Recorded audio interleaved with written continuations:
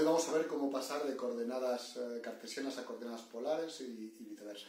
Cuando tenemos que representar un número en una gráfica, hay veces que normalmente vemos, eh, nos dan dos coordenadas, una x y una y, que al representarlo en una gráfica, en un eje x y un eje y, la x me da la distancia horizontal y la y la distancia vertical.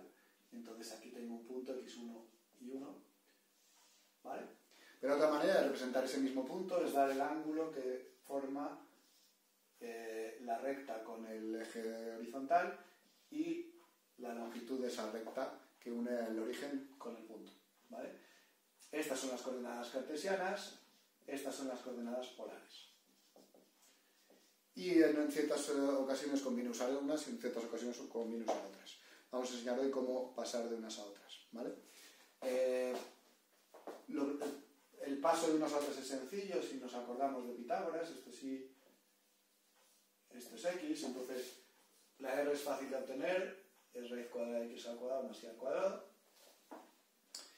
El ángulo solo tenemos que acordarnos que la eh, tangente de del ángulo de teta es y partido por x, entonces el ángulo es eh, el arco tangente de y partido por x, o la tangente a la menos 1, ves cómo viene la calculadora, ¿vale? Y para pasar de, esto es para pasar de, cuando obtengo, em, cuando tengo las cartesianas y quiero pasar a polares. Cuando tengo las polares y quiero pasar a cartesianas, simplemente acordarnos que eh, el seno del ángulo es i partido por r, entonces r es, em, perdona, entonces em, eh, la i es r seno de del ángulo y la x es r coseno del ángulo, porque de nuevo seno es i partido por r y coseno es i partido por r. Si despejamos, eh, x partido por r. Si despejamos, eh, obtenemos que x es igual a r coseno y igual a r eh, seno. ¿vale? Entonces es la manera de pasar, vamos a ver algún ejemplo. si queremos, lo fácil es pasar de de polares a cartesianas. Vamos a ver un ejemplo. Normalmente me, dan, me lo dan en el ángulo en, radianes, mm, a veces en, eh, en, grados. Debo dejar la respuesta, si os lo dan en grados, la dejáis en grados, si os dan en radianes, lo hacéis en radianes. Podéis hacerlo pasando al modo de radianes de la calculadora o haciendo el paso de la conversión de un ángulo a otro. ¿Vale? Entonces, eh, Eh, me han dado este punto en coordenadas polares y lo quiero pasar a cartesianas. Muy fácil. Eh, para pasar a cartesianas simplemente eh, quiero encontrar la x, eso es menos 4 por el seno de 2 pi tercios y la y es menos 4, perdona, esta es la y, y la x menos 4 por el coseno de 2 pi tercios. ¿Vale? Si calculamos esto, esto me sale 2 porque es menos 4 por menos un medio y esto me sale 2 raíz de 3 porque es 4 por raíz de 3 partido por 2. ¿Vale? Eh, menos 2 raíz de 3, perdona, porque es menos 4. ¿Vale? Entonces el punto en coordenadas cartesianas sería menos 2 raíz de 3 y 2. Eh, ¿Vale?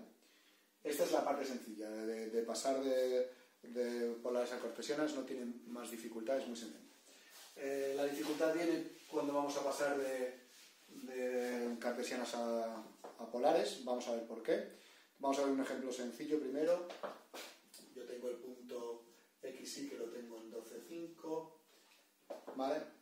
Entonces, si quiero pasar a polares, tengo que encontrar R, esta es fácil, esto es 12 al cuadrado, más 5 al cuadrado, 144 eh, más 25, la raíz cuadrada, que sale 13. Eh,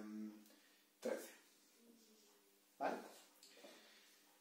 El ángulo es el arco tangente, la tangente a la menos 1 de 5 eh, partido por 12, y eso sale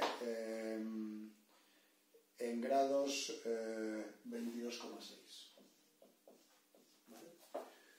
22,5 punto estaba en este cuadrante, pues lo que me da la calculadora, que es 22,6, eh,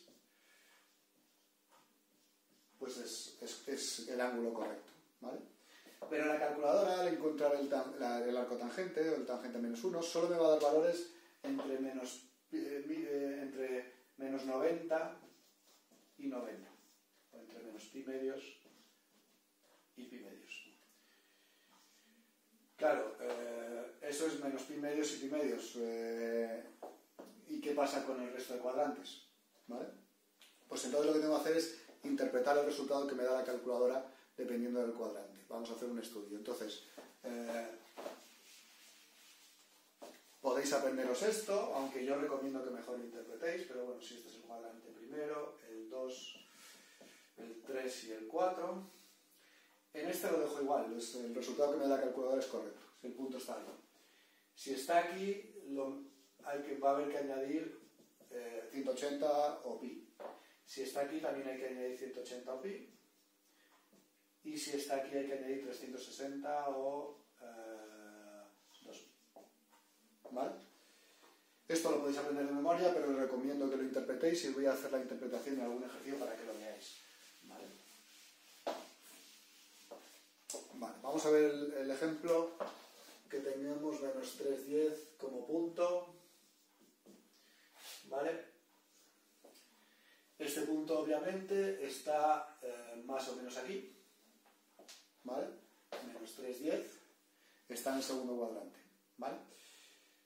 Entonces, si queremos encontrar eh, las coordenadas polares, la R es fácil, eh, menos 3 al cuadrado más 10 al cuadrado, que es eh, la raíz de 109, y esto te da 10,4. ¿Vale? Eso no cambia. El problema es en el ángulo, cuando hacemos el ángulo, la tangente da menos 1 de 10 partido por menos 3, ¿vale? Y eso da menos 73,3 grados. Menos 73,3 grados es esto. Y nosotros sabemos que está ahí. Entonces está mal. ¿Vale? Eh, porque lo que queremos obtener es este de aquí. ¿Vale? Entonces, eh, ¿qué es lo que vamos a hacer? Lo que vamos a hacer va a ser añadirle 180 grados, sumarle 180 grados, porque entonces va a ser 180 menos este ángulo que es negativo y entonces nos va a dar este que es el que yo quiero. ¿Vale? Porque yo lo quiero a partir del eje X.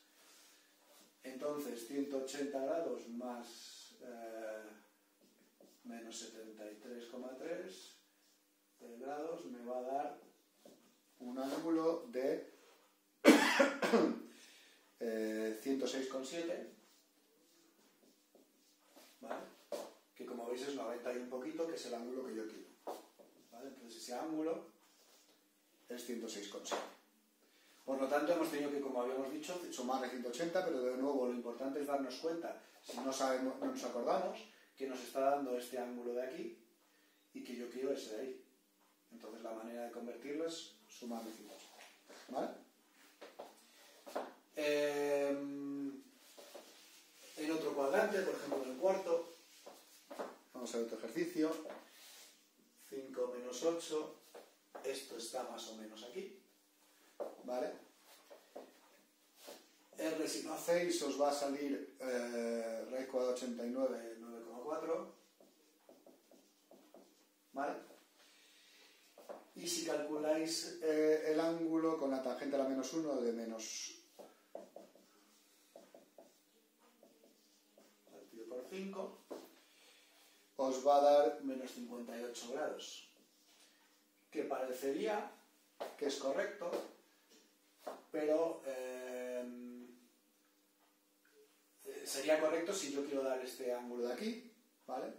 Y, eh, y si estamos hablando de números complejos, eso va a ser un resultado válido, porque los números complejos, el ángulo que tienes que dar tiene que ir entre menos pi y pi, ¿vale? Menos pi y pi. Pero si quiero dar el ángulo positivo, tengo que sumarle 360 grados, entonces, porque yo quiero darle ahora este, ¿vale? Y entonces eh, el ángulo sería 360 grados, esto es eh, el ángulo que encontraba ahí, eso sería 360 48 igual a 302, ¿vale? Y entonces el ángulo desde el eje X en positivo sería en 302. Si puedo dejarlo, ya os digo, en negativo se puede dar, no hay ningún problema, ¿vale? El mayor problema está en estos dos cuadrantes, porque voy a obtener eh, o este o este ángulo y no este o este, que son los que yo quiero, ¿vale? Entonces, es importante interpretar los resultados eh, en el ángulo y la R se obtiene eh, fácil. Una vez que tenéis cuidado con eso, el resultado es sencillo.